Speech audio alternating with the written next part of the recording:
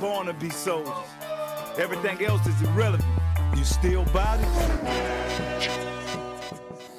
Peace, family. So, season two, we're back and we're going to be looking at the new No Limit records. So, we definitely want to thank everybody that supported the last series, and we're looking forward to getting into some dope exclusives with this one, too. So, you know, a lot of people are familiar already with the old run. By 2000, there was a lot of changes going on with the No Limit camp with artists and producers leaving, legal issues and stuff like that. By 2003, the company had filed for bankruptcy due to different lawsuits and legal issues and stuff. And um, P realized it was more sensible to shut down No Limit and reorganize and refinance the company with profits made. And he founded the new label, the new No Limit Records. So by 2004, the reorganized label had moved to Koch Records for distribution.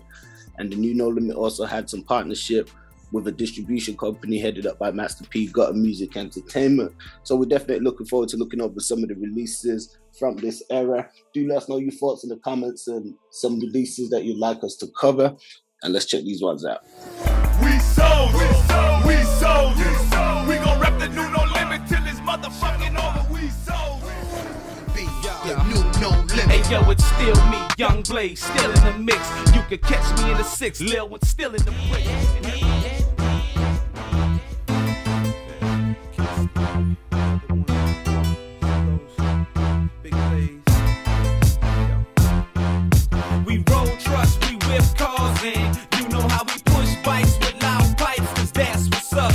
Us on them radios and that's what's up. You see us on them videos and that's what's up. We roll trucks, we whip cars in. You know how we push bikes with loud pipes, cause that's what's up. You hear us on them radios and that's what's up. You see us on them videos and that's what's up. When I come through, my rap style be benign. It's cancerous, infecting emphatically your mind. Man, I blow spots, burn booths, simultaneously bring heat delivery raw to the street special delivery packages with powder in them. So don't open them. Contents is gonna get them either from inhalation where they get swept in the rhythm or from a confrontation with this mighty lyricism. It affords me expo excursionisms, machinery, subliminal, man-made organisms like Spielberg paint a perfect picture without the fictitious storyline. Just another way to rhyme. Play road trucks, we whip cars, and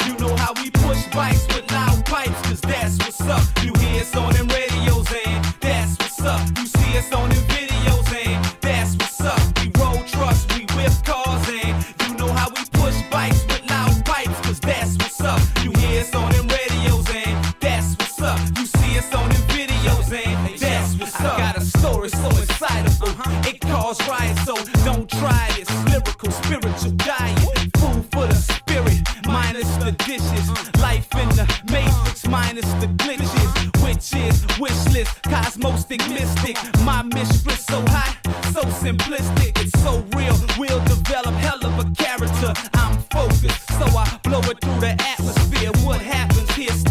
here. I'll amaze here, set the booth ablaze here. I'ma be here, so be clear. And don't foresee the gray areas. I'll embarrass you, set it off to all challenges. We roll trucks, we whip cars, and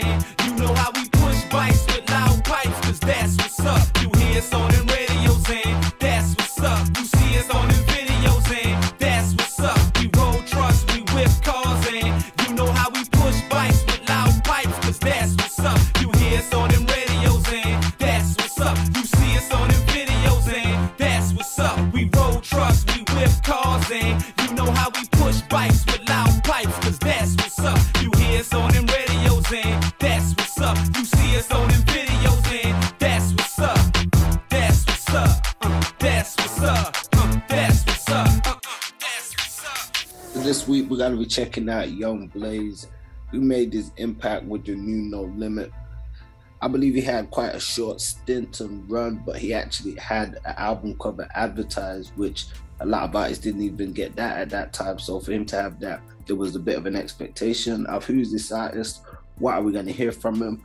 Myself, I remember hearing him on the 504 Boyz album, and he spit those rhymes like, "Oh, it's me, Young Blayze, still in the mix. You can catch me," you know. That, and I thought, you, you know, okay, he had some lyrics. He was repping the 504. He was saying something. So anticipation was sort of there to hear something, but we never did. as I said, we saw the album advertised, but we didn't get released. I mean, you know anything about this one, Mr. Mixer? Yes, I do know about the Young Blayze album.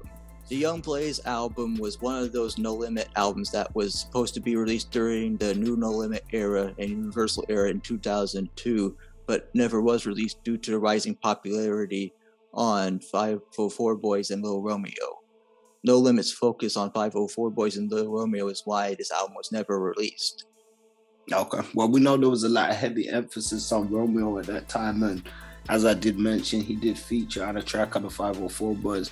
But we know this would be a time where there was a lot happening, I guess, with no limit. Just um, you know, what we would hear after with some of the breakdowns and stuff for the label, and this would have been pre-gutter music and even all that stuff forming. And um, I believe he had some kind of affiliation with the Beat Boyz consisted of Sugar Bear and Ezel Swing because when they released their Beat Boyz project, he had a few songs on there. I think he featured on that Beat Boyz album.